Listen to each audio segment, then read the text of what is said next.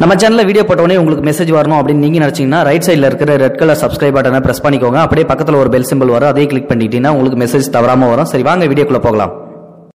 வணக்கம் நண்பர்களே. திருச்சி காந்தி மார்க்கெட் தெரியுங்களா? அங்கே ஒரு மீன் மார்க்கெட்டு இருக்குது. அந்த மீன் மார்க்கெட்டு சந்தை கடையில் வந்து பார்த்திங்கன்னா ரெண்டு பசங்க வந்து மீன் விற்றுக்கிட்டு இருக்காங்க. வியாபாரம் ரொம்ப வந்து மந்தமாக இருக்குது அந்த பசங்களுக்கு வந்து. சுத்தமாக வியாபாரமே இல்லை. மற்ற கடையிலலாம் வந்து நல்ல வியாபாரம் ஓடிட்டுருக்குது மீன் கடையில். ஆனால் வந்து பார்த்திங்கன்னா கொஞ்சம் நேரம் கழித்து ஒரு வாடிக்கையாளர் ஒருத்தர் வந்து அங்கே வராரு. அதாவது வந்து மீன் வாங்குறதுக்காக. மொதல் பையன்கிட்ட வந்து போயிட்டு இந்த மாதிரி மீன் விலையை வந்து விசாரிக்கிறாரு. தம்பி மீன் விலை எவ்வளோப்பா? அப்படின்னு சொல்லிட்டு. ரெண்டு பேரும் பக்கத்தில் பக்கத்தில் தான் கடை போட்டிருக்காங்க. அதனால் முதல் பையன்கிட்ட போயிட்டு மீன் எவ்வளோ எவ்வளோப்பா? அப்படின்னு சொல்லி கேட்கும்போது ஒரு கிலோ நூறுரூவா சார் அப்படின்னு சொல்லிட்டு வந்து அந்த பையன் வந்து சொல்கிறான் அதுக்கு. அதுக்கப்புறம் கொஞ்சம் தூரத்தில் போயிட்டு ரெண்டாவது பையன்கிட்ட வந்து அதே மாதிரி மீன் அந்த ஒரே மாதிரி மீன் இருக்குன்னு சொல்லி சொல்லுவாங்க பார்த்தீங்களா இந்தாண்ட குறவை மீன்னா அவனும் வந்து குறவை தானே வச்சுருப்பான். சரி இதே குறவை மீனை வந்து அவங்ககிட்ட கேட்கலாம் அப்படின்னு சொல்லிட்டு. அதேமாரி வந்து சிலேப் மீனை வந்து சூஸ் பண்ணியிருக்காரு. அவருக்கு சிலேப் ரொம்ப பிடிக்குமா? அதனால் இந்த பையன்ட்ட வந்து சிலேப் மீன் ஒரு கிலோ எவ்வளோன்னு சொல்லிட்டு வந்து கேட்கும்போது நூறுரூவான்னு சொல்லி சொல்கிறான் அப்படியே பக்கத்தில் வந்து கொஞ்சம் தூரம் போயிட்டு ரெண்டாவது பையன்ட்ட வந்து இந்த மீன் எவ்வளோப்பா சிலேப் மீன்? அப்படின்னு சொல்லிட்டு வந்து அந்த பையன்ட்ட வந்து கேட்கும்போது இந்த விலையை வந்து குறைவாக கொடுக்க சொல்லி வந்து பேரம் பேசி வாங்கலாம் அப்படின்னு சொல்லிட்டு அவனை வந்து கேட்குறாரு. விலை வந்து என்ன அப்படின்னு சொல்லிட்டு விசாரிக்கிறப்போ அவன் வந்து ஒரு கிலோவோட மீன் வந்து ஐநூறுரூவா ஆகும் சார் அப்படின்னு சொல்லிட்டு வந்து சொல்லிடுறான்.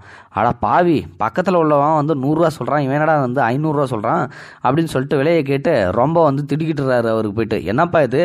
அந்த பையனும் இதே மீன் தான் வந்து விற்கிறான் சிலேப் மீன் தான் அவன்கிட்ட கேட்கும்போது அவன் நூறுரூவான்னு சொல்லி சொன்னான்.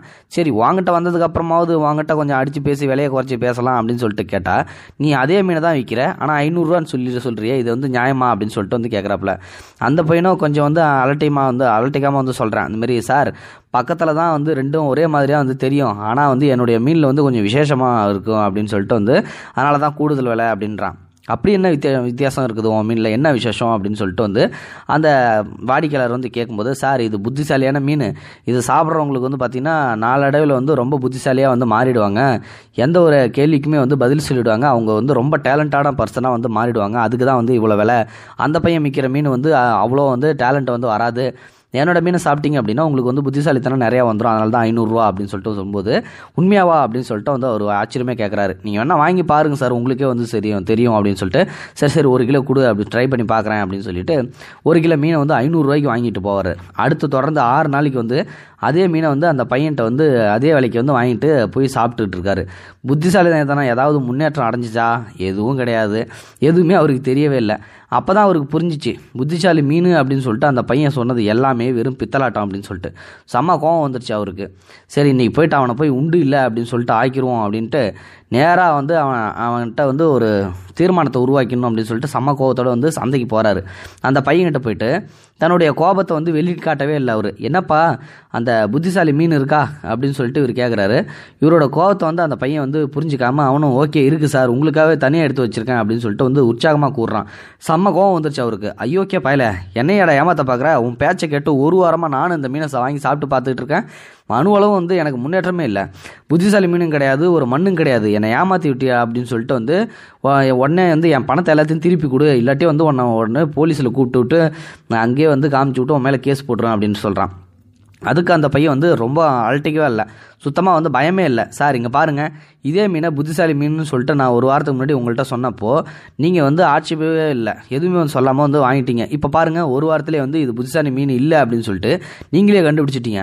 அப்போ வந்து நீங்கள் உங்களோட புத்திசாலித்தனம் வந்து அதிகமாக இருக்குது தானே சார் அர்த்தம். என்ன பிரமாதமான முன்னேற்றம்? இதை போய் இன்னும் முன்னேற்றம் இல்லைன்னு சொல்லி சொல்கிறீங்களே தொடர்ந்து வந்து இந்த மீனை சாப்பிடுங்க சார். இன்னும் பிரமாதமான முன்னேற்றம் கிடைக்கும் அப்படின்னு சொல்லிட்டோன்னே அவருக்கு வந்து ஓஹோ ரைட்டு.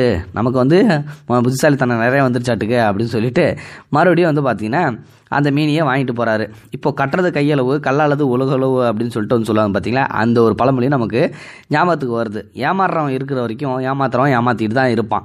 என்னைக்கு சுதாரிக்கிறானோ அன்னைக்கு தான் அவனும் திருந்துவான் அந்த ஏமாத்துறவனும் திருந்துவான். அது வரைக்கும் ஏமாறுறவன் ஏமாந்துக்கிட்டே தான் இருப்பான் ஏமாத்துறவன் ஏமாற்றிக்கிட்டு தான் இருப்பான். ஸோ இந்த வீடியோ பிடிச்சிருந்தா லைக் பண்ணுங்கள் உங்கள் ஃப்ரெண்ட்ஸ்களுக்கு ஷேர் பண்ணி விடுங்க. கூடவே நம்ம சேனலையும் சப்ஸ்கிரைப் பண்ணுங்கள் தேங்க்யூ ஃபார் வாட்சிங் இது போன்ற செய்திகளை உடனுக்குடன் நீங்கள் தெரிந்து கொள்ள மறக்காமல் எங்களுடைய சேனலை சப்ஸ்கிரைப் செய்யவும் கூடவே பக்கத்தில் வரும் பெல் ஐக்கானையும் கிளிக்